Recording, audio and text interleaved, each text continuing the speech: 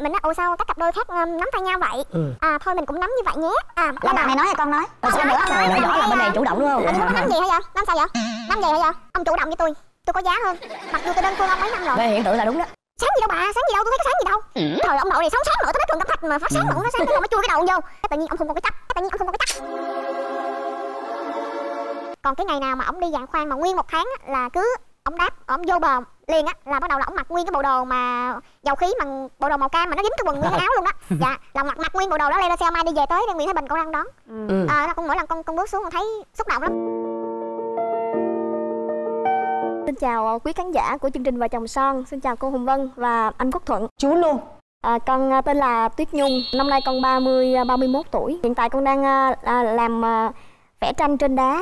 Dạ, à, một cái đơn vị làm quà tặng nghệ thuật ứng dụng, sở nghệ thuật GIAC. Con tên là Võ, hiện tại à, con 31 tuổi và nó là đồng sáng lập của sở nghệ thuật GIAC. Song song đó thì con có một cái lớp học tiếng Anh nhỏ tên là Bob English. Bây giờ chúng ta cùng đến với câu chuyện đầu tiên Cơ duyên nào các bạn gặp nhau Anh nhau em kể. Quen nhau sao nhưng mà em nhớ lần đầu tiên gặp nhau không? Ở là ở đâu không? Trong lớp chứ đâu. Thật lào, thật lào.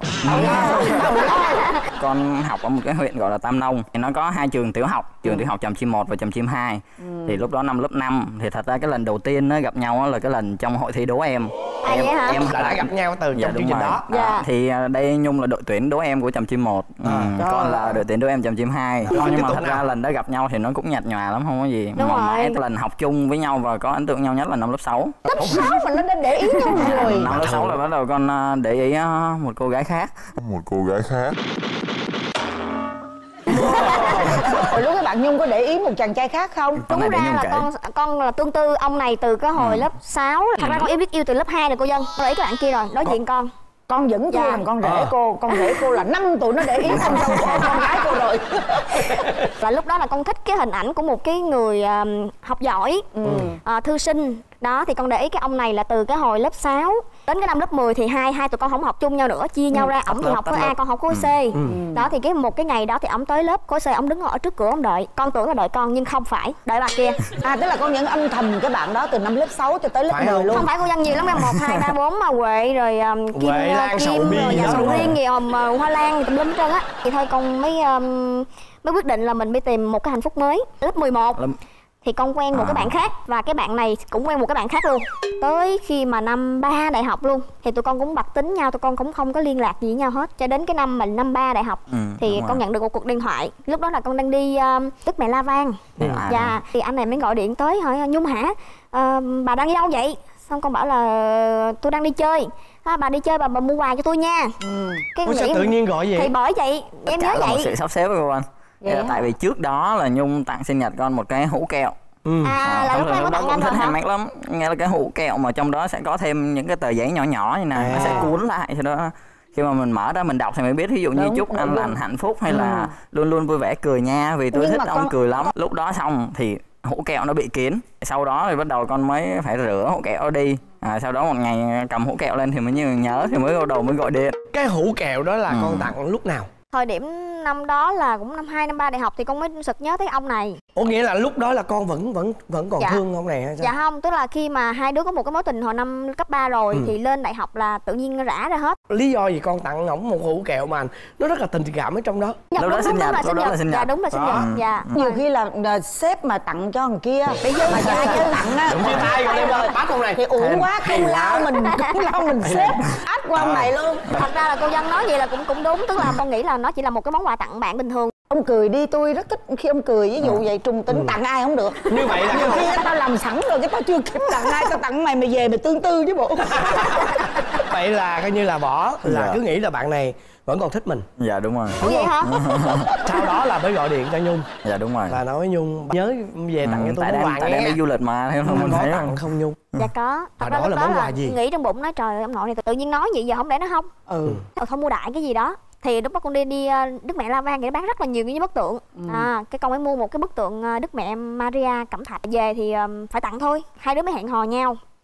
Mà thật sự là bây giờ em không nhớ luôn tại sao mình lại chọn cầu ánh sao luôn vậy tại vì cái cầu ánh sao đó là nó rất là nhiều cái cặp đôi đi vô đó. Lãng mạn. Dạ lãng mạn. Mà bước sự- vô thấy ta nắm tay rồi người ta ứ ừ quá trời luôn. Có tà ý sẵn trong đầu rồi. Thấy không? Chuyện gì Qua xảy bên ra? cầu ánh sao thì có chuyện gì xảy ra? Dạ qua cầu ánh sao thì ờm, vẫn như những cặp đôi khác chúng con lo- lon ton trung tăng thì m- mình nói ồ sao các cặp đôi khác à, nắm tay nhau vậy? Ừ. À thôi mình cũng nắm như vậy nhé. À là bạn này nói hay con nói? Con sao nói, nữa? con nói, nhỏ xong nhỏ là cái, bên này à, chủ động đúng không? À, nhưng lúc đó nắm gì hả vậy nắm sao vậy nắm gì hả vậy nắm luôn chứ nắm vậy gì hả? Nắm vậy Ừ, luôn hả? ừ. hai đứa mới tìm một gốc cây. Ngồi xuống gốc cây cái con này nè tặng quà nè. Cái này cái tượng này hay lắm nha. Cái tượng này là nó phải phát sáng trong lúc ờ, tối đêm tối là ông ông Dạ trưng lên bàn thờ là nó sẽ dạ quang ra. Ừ, ừ. đẹp lắm. Đẹp. Xong cái ông ông lấy cái áo khoác á đùm đầu ông vô. Cái ông la lên. Sáng gì đâu bà? Sáng gì đâu? Tôi thấy có sáng gì đâu. Trời ông nội này sống sáng nội tới đất cường cẩm thạch mà phát sáng mà ông phát sáng. Cái con mới chui cái đầu ông vô. Cái tự nhiên ông không còn cái chắc cái tự nhiên ông không còn cái chắc dính. Trời ơi. Cái kế hoạch của con sao con nói cô nghe coi. Con đâu có kế hoạch gì đâu con bị dụ mà. Ủa, con bị dụ mà tại sao lúc đó con dụ lại con chơi cú chót vậy? Con nghĩ là cái này nó xuất phát từ trong quá khứ nhiều hơn á. Có nghĩa là thật ra trong quá khứ là lý ra là con với nhung đã yêu nhau từ năm lớp 8 rồi chứ không phải là phải đợi tới năm 12 hay là tới năm ba đại học này nọ đâu. Lúc đó còn nhỏ quá mà ý là bạn gái là phải đẹp đúng không? Bạn gái phải cao ráo hot girl này nọ tại đợt đó mình trong trường mình cũng có số má mà ờ, nhung có một cái là rất là thấp. Thì chính vì cái đó thật ra lúc đó cũng rất là có cảm tình với nhung á. Nhưng mà đợt đó là- con nghĩ là chính vì cái đó mà mình không quen. Ờ. ủa sao bữa Sĩ đó diện tuổi học trò. đúng rồi. thằng sau đó tới năm lớp 11 giả vờ hỏi hỏi ủa bà có bạn trai chưa? Ờ. nói chưa à, Ờ. cái lúc đó mình cũng mừng mừng mình tưởng thiệt nhưng mà ai ngờ nó dốc tại lúc đó là trong lúc đó là à, nhung cũng đâu chờ mình hoài được à, lúc đó cũng quen một người khác rồi đúng rồi. ra là con đã có cảm Dạ, nhận đúng đúng rồi, này đúng từ rồi. lúc đó rồi Dạ. chờ cơ hội thôi đúng không Dạ, ở đúng đây rồi. mình phải nói vấn đề Ờ. nếu như không có chủ đích mà săn Đúng cá đó hoặc là săn thỏ đó thì lý do gì mà kêu người ta tặng quà không, Hiểu không? không có chủ đích thì thành nhưng vậy mà tại sao nghĩ là cái can đảm ở đâu ra mà con dám cưỡng hôn người ta ở trong cái nghĩ là áo lúc đó, đó tất cả mọi thứ trong quá khứ á với lại những cái môi trường xung quanh nữa. Nhưng đi chơi thì cũng có make up này nọ kiểu. Đến bây giờ con vẫn tự tin là ông bữa đó ông gài con. À. Mặc dù là mình thích ông trước thôi nhưng mà ông đâu có đồng ý. Nhưng mà tới khi mình mình mình không có sẵn sàng nữa mình mình bình thường hóa cái mối quan hệ thì ông làm những cái việc như vậy ông chủ động với tôi tôi có giá hơn. Mặc dù tôi đơn phương ông mấy năm rồi. Về hiện tượng là đúng đó. Như vậy thì hai bạn cứ như là quen nhau là có gặp nhau thường xuyên không? Tính ra là cái cái cái mối tình của tụi con là yêu xa nhau nhiều lắm. Xong khi mà ra trường thì à, võ đi làm dầu khí ở vũng tàu. Con thì ở sài gòn trưa công ty thứ bảy mới xong. Cứ là 12 giờ cái bon một cái á là bắt đầu là con chạy xe máy ra leo lên xe hoa mai. Đi cái vèo xuống dưới vũng tàu thăm ổng. Còn cái ngày nào mà ổng đi dạng khoan mà nguyên một tháng á, là cứ ổng đáp ổng vô bờ liền á là bắt đầu là ổng mặc nguyên cái bộ đồ mà dầu khí bằng bộ đồ màu cam mà nó dính cái quần nguyên cái áo luôn đó. Dạ là mặc mặc nguyên bộ đồ đó leo lên xe mai đi về tới đây nguyễn thái bình con ra con đón. Ừ. à, là con mỗi lần con con bước xuống con thấy xúc động lắm. Nhưng mà tụi con ờ, thời điểm như vậy là mất bao lâu? Yêu xa là khoảng viên. 3 năm nhỉ? Dạ đúng rồi. Rồi tụi con yêu nhau được bao nhiêu năm thì cưới?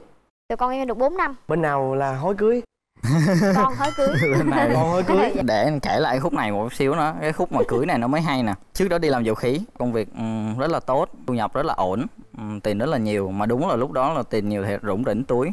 Lúc đó rất nhiều người nói là nhung quen võ vì tiền.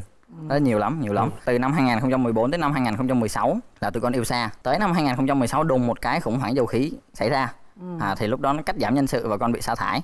À, tới cuối năm 2016 về lại Sài Gòn thì lúc đó chưa làm gì cả à, mức lương từ 40 triệu rớt cái bạch xuống còn 4 triệu cái giai đoạn mà Nhung đòi cưới á không phải là giai đoạn mà 40, 40 triệu, triệu. ừ. đó là giai đoạn hiểu. 4 triệu Đó yêu thiệt mà chứ đâu phải Có cái chuyện người đời người ta nói gì kệ người ta đi Dạ, đúng rồi. rồi. Con chỉ muốn thêm vào một chi tiết thôi ấy là một người có thể gắn bó với mình lúc mình giàu cũng như lúc mà mình không giàu thì người Thì đó đó chắc chắn sẽ đi với mình lâu dài. Ừ. bây giờ là cưới nhau được bao lâu rồi dạ tụi con cưới nhau được uh, 4 năm dạ rồi có mấy bé rồi dạ có một bé 20 một tháng bé như vậy là về ở với nhau thì có bao nhiêu tật xấu nó lòi ra hết đúng không? Cho em nói trước đó. Anh nói trước đi. Thôi, anh nói trước mà còn em không nói được nữa. Em nói trước đi. thật ra là ngày xưa thì con nghĩ bực dọc ổng nhiều thứ lắm tính con thì hay ờ, kiểu ờ, khó tính á. ông này thì thì được cái là ông hay chọc hay xàm xàm á nên là con Ừ. cũng hơi bực bội và một ngày cãi nhau cũng đau chắc 10 10 mười mấy lần á con thì rất là khó ngủ ổng thì ngáy ngáy dữ lắm cho nên nhiều khi ngáy vậy thì mình bực bội mình chồng có vô tâm không? Dạ dạ có. Ví dụ như là hồi đợt con đi về với lại ờ, ờ, quê của anh võ. Con đi đám cưới của um, con của một bác nào đó bạn gái mà mới về thì cũng được dòm ngó lắm. Con chào bác con chào cô con chào thím con chào mợ con chào ông con chào bà. Chào hết đó. dạ chào Dạ, hết đó. Dạ nói chung là chào hết. dạ thì cái khâu chào đó nó tốn khoảng um, đâu đó khoảng gần tiếng đồng hồ cho cái tiệc đó. Ờ. thì lúc đó mình cũng hơi cồn cào rồi tới lúc mà con định ăn thì con nhìn lên trên cái cái chén của con nó không có đũa. Thì ông mới quay ông hỏi em ăn đi em ăn đi.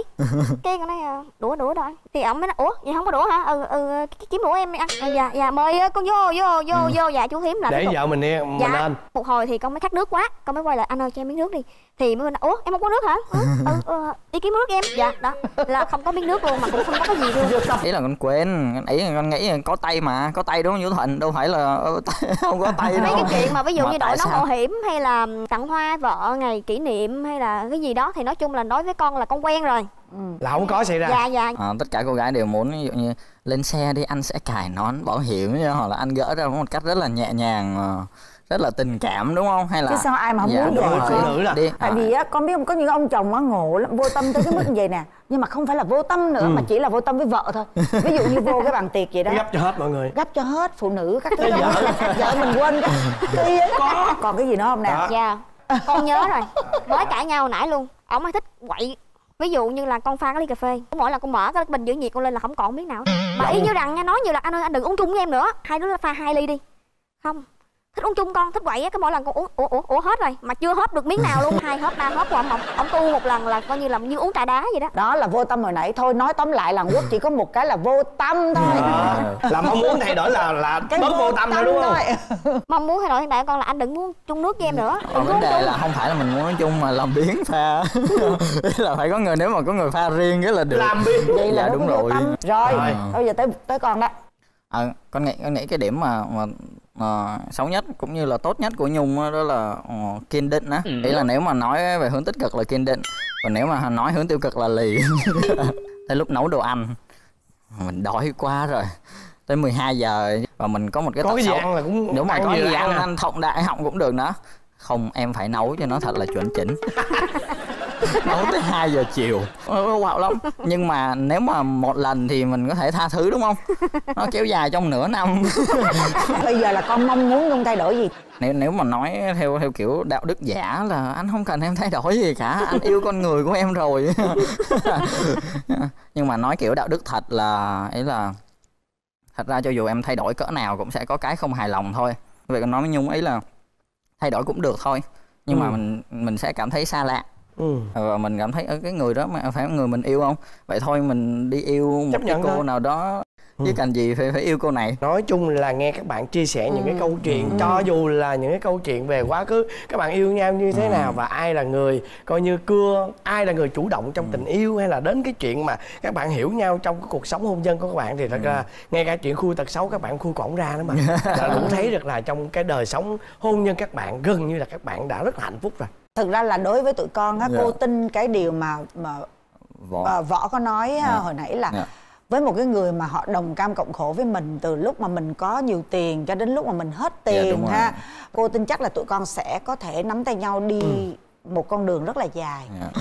thì mong là tụi con sẽ là như thế. Vậy nha. Nha rồi xin cảm ơn hai Rồi, con đã cảm ơn đến với chương trình vợ chồng son và bây giờ chúng ta sẽ cùng gặp gỡ với cặp vợ chồng tiếp theo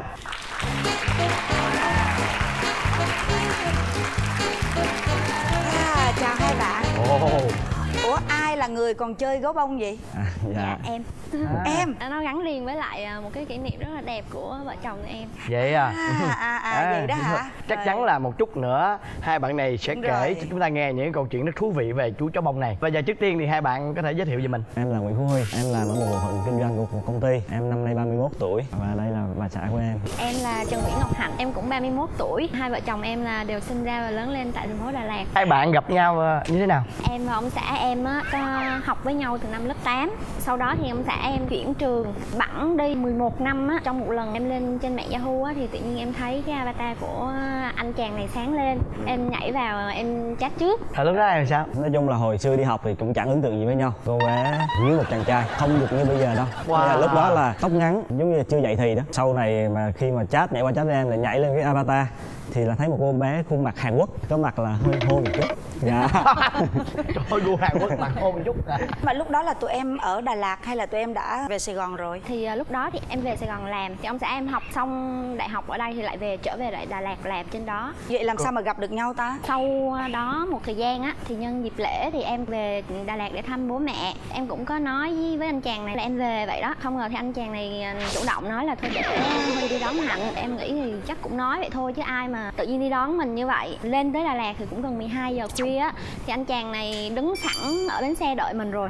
Và em nhìn xuống xe nó ôi trời ơi nó khác xa so với lại với cái hình ở trên avatar. Avatar. để tóc dài mặc một cái áo khoác hút một điếu thuốc. Thấy là rất là lãng tự trời ơi, mà đẹp trai nữa. Có đội nón không? dạ không lúc đó chưa có đội nón bảo hiểm. tóc dài tóc dài chị đó. Dài mà hút tóc dài hút điếu thuốc nữa. Ai Dạ. Trời ơi, mặc mặc ba đợt suy hay là mặc ờ, đồ vest? chậm một cái áo khoác măng tô á đậm chất Đà Lạt luôn á. Wow. Dạ. em gặp vợ em. Ấn tượng đầu tiên về vợ mình là gì? Bà xã em là, lúc đó là làm bên du lịch á, Trang điểm cũng cũng kỹ, dáng rất là thon thả. Mới đi làm về là bận cái váy của của bên khách sạn, Đi lên Đà Lạt luôn. Đó là em cởi áo khoác ra, đưa cho cô cô nàng em á mà thấy chồng mình ở cởi khoác và gá lăng như vậy chắc chắn là ngay từ lúc đó thì em đã bị cưa đổ rồi đúng không? Dạ em đổ liền. Sau đó là gặp nhau uống cà phê Rồi à, vợ em lại đi xuống thành phố làm. Khoảng là chắc nửa năm sau á Dạ. Là em bắt đầu em lên một kế hoạch là sẽ tán cô bé này. À. Thế là em đi xuống thành phố. Nhưng cái dịp đó là dịp trung thu á. Cái bữa tối đó sau giờ làm nhận điện thoại của anh này nói "Ờ, thôi ờ, huy qua nhà hạnh ăn trung thu nha. Thấy anh này ba lô lĩnh kỉnh nào rượu nào ly rồi bông hồng đỏ tới hai đứa cũng nói chuyện uống rượu vang ngắm bông hồng rồi ăn bánh trung thu xong đâu đó hết rồi thì tự nhiên mình thấy anh chàng này đứng dậy đi lại chỗ cái ba lô thì mình nghĩ là thôi là chuẩn bị về tự nhiên rút ra cháu bông này À. nói là hạnh làm bạn gái của huy nhé wow Dạ. Dạ. Sau đó là hai đứa là chính thức là tình nhân với nhau. Xong cũng vì Xa là quá. em mới thấy là bên Edphone á có cái dịch vụ là gọi miễn phí với nhau. Thế là em mua điện thoại cặp gửi xuống cho cô bé này một cái em một cái. Thế là cứ gọi miệng với nhau suốt thôi. Sáng mở mắt dậy là đã nghe điện thoại. Nghỉ trưa là cũng không được nghỉ trưa cũng phải nói chuyện điện thoại. Về tới nhà là bắt đầu là buông điện thoại tiếp nói tới khi mà ngủ luôn. Là ai mà ngủ trước thì người kia nghe tiếng ấy thôi. Để tới sáng luôn. Yêu qua điện thoại, tâm sự qua điện thoại, thậm chí là ghen tuông qua điện thoại luôn đúng À. không? Mà ghen tuông qua điện thoại thì ghen sao ta? mà em thì nóng tính lắm cứ mà bực mình là lòng một cái là em quăng thôi Quăng luôn? Dạ. quăng luôn chị khoảng năm sáu cái điện thoại Rồi lúc đó khi mà chồng nổi nóng vậy á thì em có bùng lại không? mặc dù tính em rất là nóng nhưng mà em cũng nhún nhường em cũng chịu đựng lắm quen nhau một thời gian vậy thì cũng có những cái lúc mà đỉnh điểm cái bữa tối đó thì em đi làm về rồi lại không thấy anh chàng này gọi cho em nữa gọi điện thoại về nhà cũng không bắt máy em mới thấy ngạc nhiên nó không biết là tại sao lại như vậy ngồi vô tình lên mạng coi thử à, anh chàng này có online không. Khi mà em mở mail ra thì em lại nhận được một cái lá thư kèm theo một cái bài hát là bài chiếc lá cuối cùng. Em bật cái cái bài hát đó lên trước. Một cái bài rất là buồn rất là thê thảm. Bắt đầu em đọc thư là nước mắt em nó lã chả lã chả. Em khóc nguyên một đêm. Anh chàng này là muốn chia tay. Không cho em biết một cái lý do rõ ràng là đêm hôm đó là em suy nghĩ. Xong rồi cái ngày hôm sau là em lên xe em về Đà Lạt luôn. Trên chuyến xe đó là em hạ quyết tâm. Một là em phải làm rõ ràng là tại sao lại chia tay với em. Trong khi em không có lỗi gì hết. Cái thứ hai nếu như mà anh chàng này muốn làm chiếc lá cuối cùng thì em sẽ cho anh ấy biết rằng anh ấy sẽ là chiếc lá cuối cùng của em chứ không phải là của khác Đó, ghê chưa? Rồi bây giờ hỏi, bây giờ hỏi em lý do vì sao em muốn chia tay? sao mà cắt lòng ít gặp nhau rồi cuối tuần tình nhân đi chơi mình thì chỉ qua điện thoại thôi. Em thì có hai đứa em. Em thì nghĩ thôi lo cho nó đi rồi, rồi, rồi nghĩ tới chuyện bồ bịch lấy vợ sau. Em mới suy nghĩ đắn đo em viết thư chia tay. Hôm sau em đi làm về mở cửa thấy ngồi với bố mẹ. Thế là em sợ quá đâu có có dám mà nói đâu. Nắm tay kéo ra quán cà phê liền. Tới thẳng nhà dạ của bắt, anh ấy bắt luôn. sống luôn. Rồi đi ra quán cà phê nói cái gì? đầu tiên là khóc đã. Khóc quá trời khóc xong rồi tại sao lại chia tay? Em mới đưa những lý do. Đó còn hai đứa em thôi ráng cho nó học đại học xong đi rồi, rồi, rồi quen xong rồi vợ mới nói với em là vậy thì bây giờ thì chia sẻ bớt vợ sẽ chăm lo luôn cho. Thì mình nghĩ là khi mình chia sẻ như vậy á, thì người ta sẽ hiểu được cái sự chân thật của mình với lại em và cảm thấy là giống như là một nửa của cuộc đời mình vậy á nên là mình không thể để mất được. Rồi vì lúc đó phải thừa tháng xong lên, mình phải cầu hôn chứ đúng không? sau đó là em bắt đầu xin lỗi. Rồi sau đó em lại tìm cách thôi mình bắt đầu mình cầu hôn đi. Dạ thế là À. cứ để cho đi về sài gòn là em đi xuống theo xuống theo bắt đầu em dắt lên cầu. Dạ nói về chuyện cái cầu. Thì à, bữa đó sau khi à, đi làm về thì à, anh chàng này mới chở em đi vòng vòng chơi thì à, ngay lên trên cầu thiện nghệ á, tự nhiên thắng cái kít lại quay ngược lại ôm em. Hôn cái chốc em rất là ngỡ ngàng không biết tại sao tự nhiên lại giữa đường giữa giá lại hôn em như vậy. Rồi lại hỏi em một câu là trả lời đi. Nghĩ sao mà em lại bắt trả lời một cái câu mà chưa có câu hỏi? Đúng rồi. Dạ. Thông thường á là mấy đứa bạn chiêu nhau là bây giờ tán cô này thì cầu hôn như thế nào? Là cứ mỗi đứa kêu thôi giờ tao dắt vô trong toilet. Tao hôn cô ta một cái kêu là đó vô toilet là cầu. Bây giờ hôn là cầu hôn. Thì em cũng thấy cũng hay. Mà thôi mình nhẹ nhàng đi. Dắt lên cầu mình hôn. Xem như là mình cầu hôn. Xem thử là cô ta trả lời sao. Trời ơi. chưa ướt sao nói em có hiểu không? Sự em cũng không có hiểu. Thì đến cái lần cầu hôn thứ hai đêm giao thừa thì ông xã em mới ờ, rủ em đi lên trên ờ, đồi dinh hai á. Lúc đó đúng 12 giờ thì pháo hoa nổ lên. Thì anh chàng này mới ờ, vòng tay qua ôm em hôn vào má và hỏi em rằng á là đồng ý là vợ anh nhé. Lúc đó với cái khung cảnh lãng mạn như vậy mình gục ngã luôn. Không thể nào mà từ chối được đúng không? Dạ. Bao lâu á em xuống dưới sài gòn với Dạ. vợ? Thì lấy nhau rồi á gần một năm sau em mới đi. Vậy đó hả? Có nghĩa là một năm là lấy rồi sau đó mới là sum họp thì các bạn còn khám phá được những cái gì mà quyền bí của nhau không? Chị dân dụng cái từ quyền bí nghe ghê quá. Nghĩa là có những cái gì mà bạn cảm thấy bất ngờ ở chồng bạn mà cũng yên bà ngược lại không? Quen nhau thì em hay giận dỗi em rất là cọc cằn lấy nhau về là vợ em là từ một con mèo nhỏ xíu thôi bây giờ là một con sư tử. Đúng không 180 độ. Đó thay đổi cực kỳ. À. và coi như là kiểm soát hoàn toàn em. Làm gì cũng phải báo. Chứ giờ tại sao lại ghen dữ dội vậy? Từ con mèo mà biến thành sư tử. Khi mình thả con tép á mình bắt được con tôm rồi á thì mình phải đổi thế chủ động. Mình phải ờ, nắm quyền mình phải kiểm soát hết. Tức là bây giờ tình trạng hôn nhân là bây giờ giống như là nguyệt thực á. Mặt trăng ăn Mặt trăng mặt trời trước khi mà lấy nhau á thì em đặt điện thoại sau khi lấy nhau á là vợ em lại đặt điện thoại. Không. Bao nhiêu cái rồi em? Dạ không, có một cái thôi. Lý do là cũng 10 giờ đêm rồi á Thì tự nhiên em thấy điện thoại anh này à, có tin nhắn. Nội dung tin nhắn là anh Huy ơi Chấm chấm chấm chấm gì đó. Là bắt đầu em sôi máu lên Là em phan luôn. Đập luôn. Em đập cái rầm. Sau đó có có những cái quy định không? Em không đặt ra quy định. Nhưng mà coi như là em thầm hiểu luôn. Cứ 5 giờ một là tắt máy hai á là các nhân viên đừng gọi cho tôi. Và cái vấn đề mà nhân viên nữ là người khác làm luôn. Em chỉ làm việc với nam thôi. Tụi em kết hôn được ờ, mấy năm rồi ta? Đến nay Bốn cũng năm bốn gần Bốn 4 năm. năm. Bốn năm. Thì thật sự là những cái tính xấu thì cũng đã biết về nhau rồi nhưng mà sau khi mà có em bé thì em không nghĩ rằng cái tính gia trưởng với lại cái kỹ tính cọc cằn của em đến mức độ mà nó cao trào như vậy. Ví dụ như tắm cho con á là nước phải nhiệt độ như thế nào? Em làm mà không vừa ý ổng á là ổng nói thôi để tôi tắm con xong rồi em mới buồn quá thôi em đi ra em rửa chén. Không được rửa chén chị. Tại vì khi mà rửa chén như vậy là ảnh hưởng cái nhiệt độ nước nóng con. À. đó đến khi sấy tóc con cũng vậy. Phải sấy à, vừa chế độ nóng vừa chế độ lạnh để nó nó bảo hòa hàng loạt những cái quy định. Em cũng rất là bực bội. Em có mong muốn ở chồng em thay đổi điều gì không? Em cũng mong muốn ông xã em bớt ừm, cái kỹ tính đi bớt gia trưởng. Rồi về cái giờ giấc á đối với em cái bữa cơm này rất là quan trọng. Thường em đi làm về thì em vẫn cố gắng em nấu cơm đợi chồng về. Ví dụ như chồng về trễ thì em vẫn cố gắng em đợi. Nên là nói với em là 7 giờ về thì 7 giờ về có nói sớm hơn rồi lại về trễ hơn. Vậy thì còn em em có những cái gì cần vợ em thay đổi? Em cũng là chia sẻ với vợ em. Công việc rất là căng thẳng em không thể về sớm được. Thì à, cũng mong muốn là vợ hiểu về cái công việc của chồng phải nhẹ nhẹ nhàng với chồng chứ đừng nóng tính nữa. Theo chị chị thấy như vậy nè mỗi người đều có một cái mà cần phải thay đổi đó. Thì bây giờ chị chị nghĩ như vậy nè trình độ của tụi em cũng giống như cái công việc của tụi em cái tuổi tác của tụi em đủ để hiểu được rằng á sau cái buổi này nên như thế nào để cho ờ, cuộc sống của mình nó hạnh phúc hơn? Dạ. sẵn hai vợ Cô Hồng Vân, chào chú Quốc Thuận, chào tất cả quý vị khán giả đang xem chương trình Vợ Ông Son. À, Tụi em là, tụi con chứ đúng Tụi con là Quang Minh, Việt Trúc Thì mọi người hay gọi tụi con là TZ và LED. Thì À. tụi con là nhà sáng tạo nội dung trên mạng. Và à tụi con cũng vừa mới có một cái đám cưới uh, 10 năm. À. Dạ Tụi Ồ. con quen nhau 9 năm thì cầu hôn và 10 năm đám cưới Ừ. Dạ. Đâu con giới thiệu à, giống như một cái lý lịch trích ngang về con cho cô nghe coi nè Tên đầy đủ rồi tuổi là Đúng bao nhiêu tuổi nè Dạ, con tên là Huỳnh Quang Minh ừ. Con năm nay là 28 tuổi, bằng tuổi với vợ con luôn Ừ.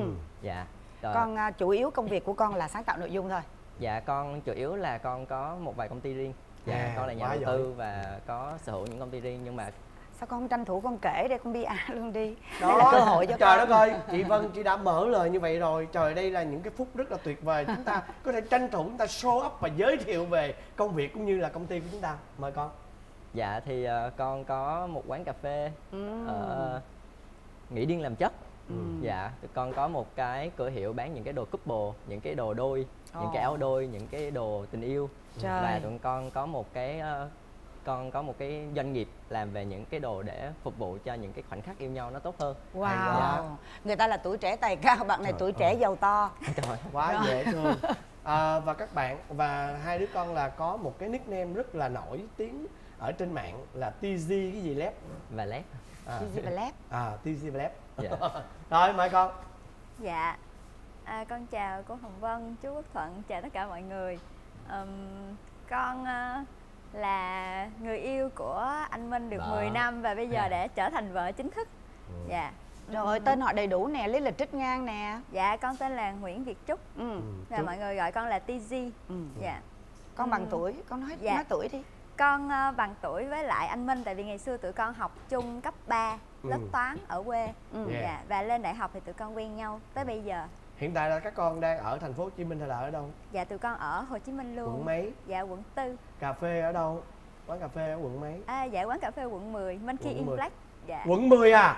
Ở đâu? Phường mấy? Tại Dạ. nhà tôi quận 10 dạ sư Vạn Hạnh. Xứ Vạn Hạnh à? Đối diện ngày Vạn nào tôi cũng đi coi như tuần nào tôi cũng đi Vạn Hạnh Mall cả. Dạ đúng rồi đối diện luôn. Là Hạnh Môn. ok. Là em em em rủ vợ đi hay đi mình dạ rồi người ta à, đi đâu đi vô cà phê đúng không Ừ. là ngủ dĩ nhiên là ngủ vợ rồi Ok. đúng không Thì phải Còn- hỏi cho nó đâu đó rõ ràng mà đi ờ, đi ờ, cái chỗ cái mall kia đó là tuần nào cũng đưa mấy đứa nhỏ đi À là một, một bên là đi vợ, một bên là đi với con đúng không? đó, đó đó đó sắp tới coi là chia phe ủa nhưng mà nó là minh kia gì con Dạ, Monkey in Black. à rồi Dạ. Ừ.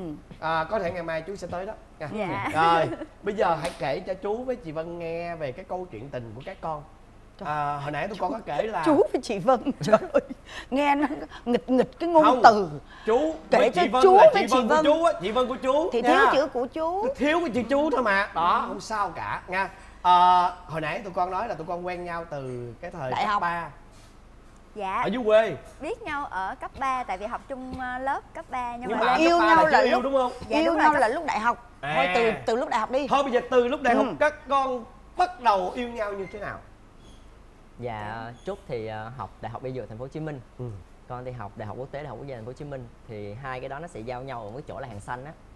Thì ờ, ở dưới quê tụi con á thì khi mà lên đây thì không có ai quen biết cả. Ừ. thế là hai đứa thực ra thì hồi cấp 3 tụi con rất là ghét nhau. Ờ. tụi con cũng không ưa nhau ấy tại vì đây là bí thư à, đây là thủ quỹ Ừ. con là bí thư ừ. thì một đứa thì giữ tiền suốt ngày đòi con mà con là lúc nào cũng muốn xài tiền của lớp một đứa giữ tiền một đứa quyền lực đúng Dạ không con Ờ. phá tiền thế là khi mà lên đây á thì bắt đầu hai đứa cũng không có quen biết ai thế là cũng cứ đèo nhau đi chơi với lại là nói chuyện với nhau nhưng mà sao không biết làm sao tự nhiên đang không ờ, thế là dính dạ ừ. Thế là dính hả? Tự nhiên thế là dính à Ủa nhưng mà Dạ. cấp 3 đó à, tại sao con lại không ưa anh này Dạ, tại vì đây là một hình mẫu đối ngược lại với con luôn. Con là một cô gái rất là chính chuyên. Ờ, đi học không bao giờ bị thầy cô nhắc nhở về Ừ. những cái vấn đề liên quan tới ờ, hạnh kiểm các thứ. Nhưng mà anh này thì luôn ngồi sổ đầu bài tại vì nói chuyện riêng trong lớp. Ô sao thắc mắc nha. Tại sao bí thư mà lại là một cái người mà ờ, giống như ngoại giao vậy? Có thể nói nói chuyện cả ngày được luôn à? Rất rất là nhiều chuyện luôn. Tới tận bây giờ luôn á chú. À Tức là không thích người đàn ông nói nhiều dạ con rồi cũng đâu có ưa đâu tại con thích con gái năng động à. Dạ. nhỏ này đụt lắm À vậy nhỏ hả? này trong mắt con là hồi đó là chỉ có suốt ngày nhìn lên bảng nhìn xuống bảng nhìn lên bảng nhìn bổ thấy giống như con gà gọt gọt gọt vậy. Như vậy là cái thời đó là không ưa nhau Nhưng mà lên đại học thì cái điều gì mà khiến cho các bạn lại thay đổi à. Xa quê đó em, Đó. xa quê, xa nhà, không Dạ, ai cũng- chơi á cũng cái điều đó luôn á cũng cái điều đó luôn á chú Cái gì nữa? ví dụ Vậy như chị- là con thích là Cô nè, cô nói phân tích coi đúng không? dạ dạ ông bí thư này á là coi như ổng quậy quá hiểu không? À. rồi cũng không ai ưa ổng Dạ. không ai chơi với ổng. Rồi cô này á là mọt sách quá rồi cái cũng không ai chơi với cổ luôn. Cái hai đứa phiêu dạt lên sài gòn cái gặp nhau. À. cái cũng không ai chơi tụi nó luôn cái tụi nó gặp nhau cái tụi nó chơi với nhau. Chơi nhau. Chứ Có giờ là- ai chơi tụi nó? Có nghĩa là từ ghét thành thương Từ ghét ghét thành thương thương. Hay là do các bạn dậy thì muộn? Là lên tới tới, tới, tới đại học rồi mới bắt đầu dậy thì rồi lúc đó là mới biết cảm mến nhau bạn Dạ. nói là tụi nó không có ai chơi tụi nó tụi nó buộc lòng phải chơi với nhau Đúng không? Đúng không? sao, sao nghe cô đơn quá cô đơn mất giá Thì sao? à, con con như hồi nãy con nói thì cũng cái tính này mà làm con yêu ừ tại vì hồi xưa thì đúng là con thích con gái năng động thật ừ nhưng mà đến cái thời mà bắt đầu mình tự nhiên mình lúc đó đúng là nghĩa là cô đơn giữa sài gòn á ừ thế là mình mê nói mà không có ai nghe con nhỏ đứng ngồi sau xe nó nghe nghe từ đoạn cuối luôn nghe chăm chú lắm Ủa vậy mà Dạ. chấp nhận cho cho chở đi hả? dạ cho Dạ. chở chứ tại lúc đó có con xe à đã nói là không có ai chơi mà bây giờ có nhờ ai cũng đâu ai chở Ừ. chỉ có con bé này chở thôi Nó thương bé dễ sợ luôn Ừ. vậy đó. Và con nhỏ nó cũng thương nhỏ luôn, nhỏ chịu đựng nghe à, cuối cùng Dạ. nghe viết thành ghiền đúng không? Dạ con thích nghe tại vì con không biết nói gì. Rồi đến khi nào thì bắt đầu là hai đứa mới là ờ, cảm mến nhau rồi bạn này cũng như tỏ tình với con? Dạ tụi con không có một cái lời tỏ tình chính thức nhưng mà con vẫn còn nhớ hồi đó ảnh có nói với con sau một lần đi chơi về là ờ, anh có cảm tình với em. Cảm tình chứ không phải là tình cảm nha. Ồ. Đấy là kiểu mặc dù thể hiện là có thích thích mình đó nhưng mà vẫn nói như kiểu giữ giá. Chứ Và- cái khoảnh khắc đó thì con nghĩ là ok mình ờ, mình có thể ờ, tìm hiểu nhau tiến triển với nhau hơn. Và tụi con mặc dù không có cái ngày chính thức tỏ tình nhưng mà tụi con ra mắt gia đình hai bên cũng như là công khai nhau khá là sớm. Là từ đó là biết là tất cả mọi người đều biết là hai đứa quen nhau chính thức. Là cái đại học lên đây đại học năm thứ nhất luôn hả? Hay là năm dạ thứ hai? khoảng năm nhất năm hai. Năm thứ nhất là bắt đầu công khai với gia đình luôn.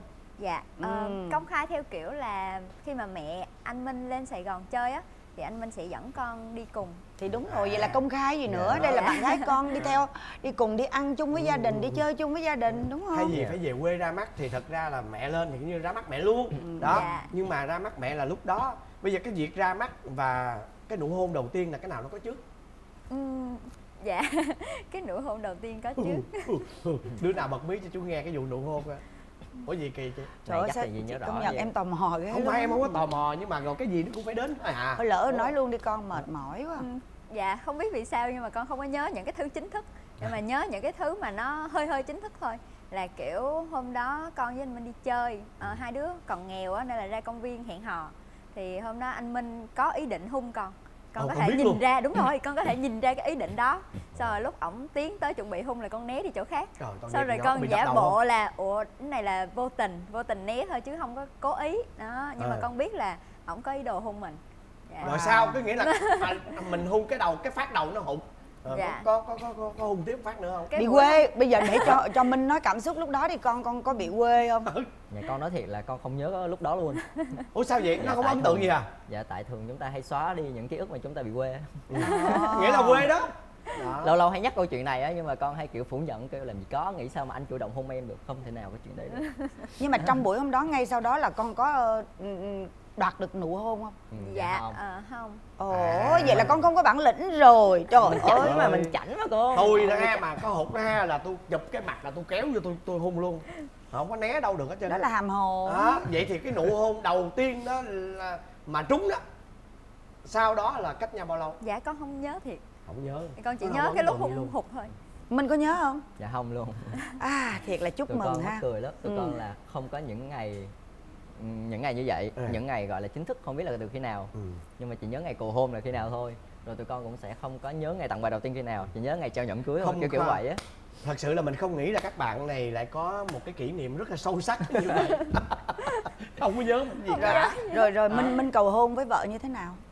Dạ thì à, lúc đó là 9 năm. Thì thật ra có một câu chuyện rất là huyền thoại cặp đôi tụi con đó là ủa là mới đây đúng không? Dạ đúng rồi. Ờ, thì ờ, thời điểm đó thì tụi con là quen nhau cũng rất là lâu và từ cái thời mà hai đứa đúng nghĩa là hai bàn tay trắng thôi. Thì ờ, cái thời điểm đó con có nói với Ti Di là nếu như ngày ừm, sau này mà em anh còn xứng đáng với em á nghĩa rằng là cái bản lĩnh của anh đủ đủ ở đây nghĩa là đủ tài chính nè đủ bản lĩnh nè đủ cái ờ, kiềm chế cái tôi mình lại để giữ gìn hạnh phúc thì anh sẽ cầu hôn em. Lúc đó thì nếu như mà anh nghèo thì anh sẽ cầu hôn em bằng nhẫn cỏ. Ừ. thế là cái thời điểm mà con cầu hôn ờ, Trúc thì lúc đó là 9 năm tại vì con hứa với Trúc đó là hứa 10 năm cho anh 10 năm để anh cố gắng vì 18 tuổi đến 28 tuổi Ừ. lúc đó 9 năm rồi sắp deadline rồi là con biết mình đừng có đám cưới à, con cầu hôn Ừ. thì ờ, con mới làm cái nhẫn cỏ đúng nghĩa đen nhưng mà cái cỏ của con là làm bằng vàng trắng này nọ Ừ. Ừ. xong cũng ngầu lắm thế là con mới giả vờ con ờ, thuê con nói với Trúc là ngày hôm đó là có tài trợ một cái sự kiện Ừ. ở trên du thuyền thế là trúc cũng súng xính đi mặc đồ lên đẹp lắm xong mọi người trong đó của con cũng giả vờ cho hướng dẫn viên ngồi nói các kiểu xong bước lên du thuyền thì ngay ở giữa ngay cái đằng trước ờ, một cái hoàng ô- một cái hoàng hôn. Thì con mới cầu hôn trúc thì Trời. cái clip đó cũng khá là viral. Wow. Và lãng mạn quá. cũng khá là vui tại vì ờ, đó là lời hứa chỉ có tức một cái. Là nhỏ này không nhớ gì lời hứa luôn. Vậy hả? Không nhớ gì luôn. Trời ơi. Thì trúc có một anh cái có hứa với em không? Phải hứa đầu với- bây giờ. hay là hứa với ai Trúc tại vì Trúc có một cái nguyên tắc là Trúc sẽ không có nhớ những lời hứa của con. Tại vì Ừ. Trúc luôn nhớ nói là, Sợ là hôm con- nào mà hứa thì đó là lời hứa thật lòng của con lúc đó. Nhưng ngày mai thì sẽ không phải là con lúc đó nữa. Ờ. cho nên là sẽ không có quá mong chờ về điều đó. Ừ. cho lúc con nói á, Trúc không nhớ xong con kiểu hả? Ủa chứ không phải bữa giờ em em cố gắng em nhá đèn để anh cầu hôn hả? Cho nên là lúc đó cả hai đứa đều bất ngờ hết. Con cũng bất ngờ luôn. Con cầu hôn mà Ồ. con bất ngờ luôn vậy hả? Ừ. nhưng mà cái trạng thái của con cái lúc đó như thế nào? Khi mà tự nhiên coi như giữa một cái hoàng hôn rực rỡ như vậy rồi có một cái người bạn của mình quỳ xuống và trao chiếc nhẫn cỏ làm bằng bạc. Làm bằng vàng trắng. Vàng trắng là bạc ừ gì? cái bạc với vàng trắng nó khác giá dữ lắm em. Vâng em nhầm. Bằng vàng trắng. chín năm sau là anh ấy đã Đó. thành đạt rồi. Đó nhưng mà vẫn nhớ là cái chiếc nhẫn cỏ đúng không? Là sao? Tâm trạng Dạ. nó như nào tự nhiên nhắc lại cái con xúc động quá Ừm, con lúc đó là đã quen được 9 năm rồi và con nghĩ là hai đứa sẽ về chung một nhà và sẽ không có một cái cầu hôn nào hết. Tại vì nó giống như cái lúc mà yêu nhau á thì không có một lời tỏ tình chính thức Ừ. thì cầu hôn con cũng không cần luôn. Ừ. nhưng mà không ngờ là chồng con lại làm cho con một cái buổi cầu hôn đáng nhớ tới như vậy. Giờ nhắc lại con vẫn còn nhớ Xúc cái hình ảnh cái cảm giác Ừ. lúc đó. Mà cái nhẫn đẹp không cô hỏi thiệt. Dạ cái nhẫn rất là sến đó đã, ừ. nhận nó con tự thiết kế luôn á. Trời ơi, cũng tay luôn. không vậy? Dạ không cái này sao mà dám đeo? Bây giờ chị hỏi em là vàng trắng mà nó quả tiết thành những cái cỏ là nội mà đeo cái đó không là nó rắc vô quần vô áo rồi nó đâm đúng rồi, vô da vô thịt trời ơi làm Chị sao mà đeo được? lắm đúng không? Đúng rồi. Anh rất là tự hào với cái nhẫn đó. Thì con cũng rất là yêu cái nỗ lực của ảnh. Nhưng mà để nói thật lòng là nó có đẹp hay không thì nó rất là sến. Nó rất đẹp và tất cả mọi người đều đều rất thích luôn. Tại vì cô biết không cái cái thương hiệu mà lúc mà con làm cái đó là xong rồi con có public cái tên đó thì là thương hiệu đó liên tục được đặt order để làm nhẫn cầu hôn. Trời ơi. Nói chung là không cùng gu thôi. Ủa nhưng mà lúc ra cái năm đó là năm nào con? Dạ là cuối năm 2021 à bữa nào Dạ. mà- rồi chín năm yêu nhau vậy tụi con có cái sóng gió gì không? Hay là nó trơn tru mộc mạc vậy đó? Dạ xong những, đó tính theo ngày vậy con những cái sóng gió của tụi con là cái người trong cuộc không có nhận thức ra luôn. Kiểu như khi mà mình làm sáng tạo nội dung về tình yêu á thì mình luôn có một cái ờ, tưởng tượng một cái một cái gì ta?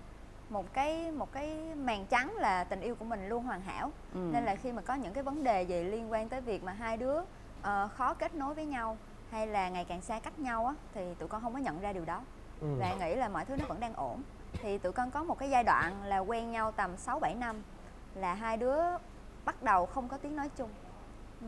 anh Minh thì stress vì lúc đó công việc của anh Minh chưa có đi tới đâu á kiểu cảm giác mình mình chưa có thật sự ờ, có sự nghiệp trong tay á còn con thì lúc đó mới tốt nghiệp đại học xong nhưng mà con lại không đi theo cái ngành của con Ừ. và cũng đang rất là chênh vênh kiểu như không biết mình nên làm gì và hai đứa không có tiếng nói chung trong khoảng thời gian đó và xa cách nhau rất là nhiều Ừ, Chính tự, tự khoảng- dưng là lạnh nhạt nguội lạnh đó Dạ, đúng, đúng không? rồi. Ừ. ừ. mất bao nhiêu lâu dạ con nghĩ là một năm hơn á wow dạ các con có từng chia tay nhau không dạ Ờ, rồi dạ rồi là Chia đúng tay lâu cái không thời con? điểm đó là dạ 5 ngày năm ngày ai là người chủ động nói cái lời chia tay dạ Minh là đã chia hả? tay xong con ok. Rồi. ai là người chủ động mở cái mỏ cái gọi là hàng gắn à? lý do là minh minh ờ, nói chia tay là làm sao dạ con cũng chia sẻ thật là hồi nãy con có nói về cái lời hứa lúc 9 năm á tại vì Ừ. con luôn nhớ cái lời hứa trong lòng ừ. thì 6 năm lúc đó là 6 năm thì cô ấy tưởng tượng là từ năm nhất đến năm 6 kiểu là mình cũng sẽ mong chờ là ví dụ như 9 năm thì có cái nhà đi thì từ Ừ. năm nhất đến năm đến 6 thì cũng phải có được ừ, kiểu 1 tỷ hay gì đấy Ừ, ừ. nhưng mà thời điểm đó thì con thất bại rất là nhiều con mở công ty nào ra là con thất bại công ty đó luôn và được cái thì nó không nợ thôi. Nhưng mà mình cứ về mo hoài nghĩa là về Ừ. zero hoài ừ. thế là mình nhìn vào người ừm, người yêu mình. Cũng mà mình nghĩ là vợ tương lai. Thì mình nghĩ cảm giác là mình ngày càng không xứng đáng tự ti. Thực ra đó là một cái sự hèn á cô. Nhưng mà ở cái thời điểm đó khi mà mình không còn đủ tỉnh táo nữa thì mình sẽ không có mình sẽ không kiểm chế kiềm chế Ừ. được. Và vì mình không dám nói ra không thể nào là một người đàn ông dám nói ra là ok anh thất bại quá nên anh không dám abc nên nó tạo ra một cái sự tự ti nhất định và chính cái sự tự ti đó nó làm cho con ngày càng phản ứng ra với những cái mà và mà không nên phản ứng như vậy phản ứng. chuyện đó rất là nhỏ Dạ. mà tự động con Dạ, con con bật luôn. lại nó rất quá là nhạy cảm ừ. nghĩa là bình thường một cái chuyện đó bình thường Ừ. nhưng ngày hôm đó đối với con là nhạy cảm ví dụ như trúc đi qua một cửa hiệu với Touch and Kiss đi trúc thấy cái túi đó trúc chỉ đứng nhìn lâu thôi Ừ. con cũng bắt đầu cảm giác nhạy cảm À, vì tại là sao mình không có đủ à? tiền để Ừ. mình làm điều đó thế là vì những cái chuyện đó nó cứ cứ cứ ở trong lòng mình hoài là lúc đó rồi nó cứ dồn nén những cái chuyện khác ngoài lề Ừ. Lúc đó con mới bùng lên con mới nói chia tay. Nhưng mà đến cái thời điểm chia tay xong mắc cười cái là lúc chia tay cũng anh hùng lắm. Kiểu là ừ chắc chắn dứt rồi á. Nhưng mà trong 5 ngày tiếp theo con nhốt mình trong cái kho của công ty con. Là giống như là tụi nhỏ hay nói là thời điểm đó sợ lắm tại suốt ngày phải đi tiếp tế lương thực cho con á tại con không muốn ra ngoài. Ừ. và đúng là trong năm cái ngày đó là con ở trong phòng tối đó con cảm giác là cái thứ duy nhất con nghĩ là chút thôi. Ừ. Ờ, nó nó giống như cái cảm giác con hay so sánh là lúc mình ở bên nhau á khi mà cái tình cảm nó qua giai đoạn tim đập thình thịch rồi á thì nó giống như hơi thở vậy. Mình không bao giờ mình biết trân trọng hơi thở của mình á. Cho đến khi ai bóp mũi mình 5 giây là mình thấy là mình mình tắt thở rồi. Ừ. thì đây cũng vậy á. Thì đến lúc mà con biết là con đã mất chút rồi á thì con kiểu con con thèm khát có lại được khủng khiếp. Ừ. và đến trong những ngày đó con nghĩ rằng chỉ cần có chút thôi cái gì cũng được. Đó là thôi cố gắng 5 ngày sau kệ nhắn tin rồi năn nỉ quay lại các kiểu tùm lum la con chủ động luôn. Ừ, dạ con chủ động nhưng may quá chút cũng đồng ý tại lúc đó mình cũng nghĩ là tại con có một nguyên tắc là con sẽ làm hết mức có thể. Ừ. nếu được thì thôi. Nhưng may quá là một người dám làm và một người dám chịu thế là ok rồi. Ừ. nhưng mà được một cái là sau cái thời điểm đó tự nhiên đúng cái thời điểm đó khi mình xác định là thứ hai đứa cần là tình yêu thôi á thì tự nhiên sự nghiệp con thăng tiến dần cột luôn. Ừ. dạ. Thế là đủ tự tin đó tự nhiên lúc đó mình tự tin lúc nào mình không biết luôn á. Dạ không còn tự ti nữa đó. Ừ không còn tự ti nữa là mình làm được thành công đó em còn và, cha- và chúc thì chắc trong năm ngày cũng mong chờ cái cuộc gọi điện thoại của ảnh đúng không Dạ, con ờ, với ảnh tính giống nhau, hai đứa mạng hỏa nên rất là hỗn. Ảnh đòi chia tay thì con chia tay. Con có giá của con mà. Ừ. Đó nên là tại vì cái cái cái lý do mà hồi nãy ảnh mới nói á là sau này con mới biết chứ còn lúc đó là ảnh hành xử rất là kỳ lạ. Ừ. Tức là ảnh hành xử không mình cảm nhận được là không có còn tình thương cho mình nữa. ừ, đúng Nên rồi nó không con- yêu mình nữa đó Dạ đúng đúng không rồi, nên là con cũng ok. Mặc Nhưng mà- con khóc nhưng- nhưng mà con ok. nhưng mà cô hỏi con lúc đó là công việc của con thì nó lại là hành đông À, lúc Hay đó là là con- con con cũng đang làm công ty chung với anh Minh luôn. tụi con trước À, giờ làm mọi dạ. thứ với nhau luôn à công ty cũng cổ phần chia cho nhau rồi ờ, công việc Ừm. sáng tạo nội dung cũng làm trên kênh của nhau luôn nhưng mà lúc đó khác bây giờ ở một cái là cái công việc lúc đó nó chưa phải là con ừ. nó chưa có khiến con cảm thấy là mình mình là chính mình đó Ừ. dạ. Nên là con chưa có mê cái công việc đó dạ hay đúng sao? rồi thật ra như thế này cái giai đoạn mà một người đàn ông mà ở cái tuổi mà thành có nghĩa là đi làm sớm giống như chồng con á chắc chắn là khi mà trải qua những cái giai đoạn là, là thất bại á. Rồi lúc đó là hai đứa có nhà chưa? Dạ Dạ chưa. rồi lại chưa có nhà. Cơm máu gạo tiền rồi tiền thuê nhà đã gì thất bại công ty nữa thành chắc chắn là bạn này không stress không bị trầm cảm Dạ. nặng đã là một cái thành công rồi đó. dạ. Đó Rồi, thực ra à, là cái 28 tuổi của tụi con mà tụi con ừ, sự nghiệp như vậy là ok lắm á tại vì Ừ. người đàn ông á thường là bắt đầu từ 30 đổ đi á Ừ. dạ. là lúc đó là là thường thì họ bắt đầu mới thành đạt ừ, Dạ, vững chắc mà á ừ. con có suy nghĩ đơn giản là tại vì vợ con bằng tuổi Ừ. tại vì nếu như mà yêu nhỏ tuổi hơn thì con nghĩ là tầm 30 hoặc là hơn cũng không sao. Ừ. nhưng mà cứ nghĩ đến chuyện là năm 28 tuổi thì tại con luôn suy nghĩ là phụ nữ sau 30 đẻ nó sẽ gặp nhiều khó khăn hơn rất là nhiều. Ừ. và nếu mình không vững mình không có một cái máy ấm mình không có cái nhà mình không đủ bản lĩnh để mình nuôi con nói đâu xa đừng có nói đến chuyện tiền bạc mà nói cái chuyện là mình còn thời gian để mình chăm cho con đã là một cái chuyện khó rồi. Thế các bạn đã có em bé chưa? Dạ chưa. Chưa đúng không? À, rồi bây giờ là đã có nhà chưa? Dạ dạ có rồi. rồi. có rồi. Các bạn ở nhà thuê có nghĩa là các bạn đã ở chung với nhau từ ờ, có nghĩa là quen từ 19 tuổi. Dạ, Dạ. là Đúng không? 18 18 18 tuổi. Và ở chung với nhau là bao nhiêu tuổi? Dạ quen được uh, 7 năm là Ừ, bắt đầu ở ở chung. chung với nhau như vậy là các bạn ở nhà thuê cũng phải là mấy năm? Dạ tụi Đó, con ở mới nhà mua thuê nhà đây. tụi con mới mua nhà hồi năm ngoái sau nghĩa là 7 Đúng. năm đó thì tụi con vẫn tiếp tục ở nhà thuê? Ừ. dạ, để thì ai cũng vậy mà làm sao mà mà hăm mấy tuổi mà có nhà được? Thôi bây Dạ. giờ bỏ qua cái giai đoạn mà nhà thuê đi. Ừ. mình vô là cái nhà mua đi ha. Là hai chồng về ở với nhau rồi à, đám cưới rồi chương thứ nhì đó em. Tới vậy đúng rồi. Tới cái phần Đó. đó. mấy đứa biết mà đúng không? Thì giữa cái nhà thuê với cái nhà mà nhà mua đó thì những cái tánh xấu nào nó có thay đổi không? Nó có thay đổi từ nhà thuê qua nhà mua không hay là cũng y chang vậy y chang vậy. Ừ. đó dạ con thấy ảnh rất là nhất quán từ năm nhất quen nhau cho tới bây giờ thì vẫn bừa bộn như thế à, có Dạ. nghĩa là coi như là không có thay đổi đúng không dạ đúng rồi Rồi bây mãi giờ mãi trường tồn á mãi mãi trường tồn á thôi bây giờ Ừ. bắt đầu mình lần lượt mình liệt Đúng kê đi rồi. con thôi Dạ. bây giờ mà mình đàn gái trước nha Ừ. rồi À, nếu mà nói về dạ nói nếu mà nói về tật xấu thì con nghĩ tới bừa bộn đầu tiên Rồi. bừa bộn Dạ. nè nhưng mà cái hồi à, cái hồi mà mới quen á thì con lại rất thích cái sự bừa bộn đó. Tại vì Ừ. đó là một cái cơ hội để mình có thể qua nhà ảnh xong rồi xếp đồ cho ảnh để mình chứng tỏ là dạ ờ, đúng đó, rồi. tình yêu của em dành cho Mà anh là sự gọn gàng độ cho anh rồi này kia. Lại Ờ, sống bừa là dịu dàng và gọn gàng đó con dạ. Con sống bừa chứ con thích gọn gàng. Lạ vậy đó cái con vậy đó. cái nết con là con. con con sống bừa nhưng con muốn bước vô cái nhà phải thơm với sạch. Thì bởi vậy người ta mới muốn thích như vậy để người ta có cơ hội nè. Dạ. Dạ. Ủa nhưng mà tại sao bây giờ lại là cả cảm thấy nó khó À. chịu. dạ tới bây giờ con vẫn cảm thấy điều đó ok. Tức là con con đang nói là kiểu ờ, cái hồi đầu á mình yêu điều đó ở ảnh. Nên là bây giờ khi mà cưới nhau về rồi thì con cũng sẽ không thể nào ghét cái điều đó ở ảnh được. À, như vậy thì đối nhưng mà với vẫn con xem đó là tật xấu.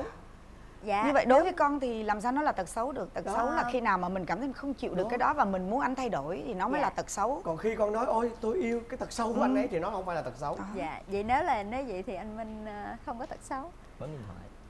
Bấm điện thoại trong lúc ăn hả? Ừm, hồi đó Chà, con coi cái điều đó buồn nữa hả? hồi đó con coi điều đó là tật xấu nhưng mà gần đây con đã ờ, thấy ok với điều đó. Bỏ tại vì hả? dần dần ừm, tức là khi mà một người ví dụ một người hút thuốc hay là một người mê game các thứ á, thì mình đứng ngoài mình nói vô người ta sẽ không thay đổi. Trừ khi mà tới một thời điểm nào đó họ tự ý thức được sự thay đổi thì mới cái điều đó nó mới thay đổi được. Nên là bây giờ con đang ờ, chấp nhận cái điều đó thôi. Ôi tại sao con lại chấp nhận những cái điều vô lý đó?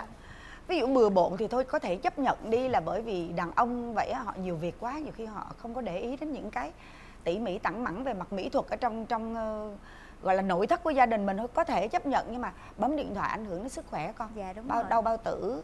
Đó, rồi ờ, mắt sẽ lên độ liên tục Dạ. ví dụ vậy đúng không? cái thứ hai nữa một cái điều nữa mà hiện nay đó là gần như là một cái tật của các cặp vợ chồng ở trong cái cái cái cái, cái thế giới này luôn chứ không phải riêng thành phố Hồ Chí Minh hay là Việt Nam đâu. Đó là về nhà mỗi người một cái máy rồi không ai nói với ai một câu nào cả. Rồi nó Dạ. làm cho một cái không khí gia đình nó không có một cái tiếng nói nó không có một sự rộn rã trong trong trong gia đình. Dạ, tụi con cũng đã từng có một thời gian giống vậy. Ừ. Nhưng mà khi nó lạ một cái là khi mà con chấp nhận cái điều đó ở anh Minh Không cằn nhằn nữa thì mặc dù là lúc ăn anh Minh vẫn sẽ bấm điện thoại Nhưng mà những khoảng thời gian khác á Ảnh sẽ tập trung nói chuyện với con hơn Dạ. nghĩa là lúc ăn là mới bấm thôi. Dạ, lúc ăn có thể bấm có thể không Nhưng mà con không có bắt ảnh ờ, trăm phần trăm không bấm được. Ừ. rồi còn tật xấu gì nữa không? À, tính tình dạ. có hiền lành lạc hậu không? Hay là cọc cằn tháo lỗ? Cằn, Dạ, cọc cằn Cọc đó cằn. ví dụ đi. Ừm, Ảnh rất là dễ nóng. Dễ nóng dưới chứ con. Dạ dễ nóng với con và mọi người nhưng mà dễ nóng với con nhiều hơn. Ừ. Tại vì con ờ, với ảnh khác nhau rất là nhiều. Con có cảm thấy khó chịu với những cái sự ờ, cọc cằn đó của anh hay không Dạ có, đó là tật xấu đó. Dạ có. Nhưng mà con ờ, trị được rồi. Đó là khi mà ảnh nóng tính lên á Mà con nóng tính lại á Thì hai đứa sẽ cãi nhau rất là nhiều. Nhưng mà con dịu đi một xíu. Ừm, Con có thể không không không cãi nhau lại với ảnh. Cũng không phải là kiểu ờ, phải xoa dịu ảnh Nhưng mà mình chỉ cần im lặng một chút thôi là ảnh sẽ tự review lại cái hành động vừa rồi của ảnh xong ảnh năn nỉ xin lỗi các thứ có nghĩa là bây giờ xài chiêu là một người á là gọi là sơ, ờ, lửa lửa ở trên trời á sơn ở gì lửa thiên thượng hỏa. Thiên thượng hỏa thì bây giờ mình chấp nhận mình là lửa đèn dầu đi con. Mình thu mình lại ở cái bóng đèn dầu đó thì trời ơi ở ngoài đó thiên thượng hỏa ầm ầm ầm cũng không có ảnh hưởng gì luôn. Không cộng hưởng được để mà tạo thành đám cháy. đây mới là thiên thượng hỏa Thì- còn mấy đứa này nó là lư trung hỏa hay gì đó. Hỏa đồ sơn Còn hỏa đồ Dạ, sơn. Hỏa đồ đó sơn. hỏa đồ sơn là trên- trên- hỏa đồ sơn là cũng trên núi rồi. Là nó đốt cây nó đốt rừng. Thì bởi chị mới nói là hai đứa nó cùng một lúc á là cháy rừng người ta. Dạ.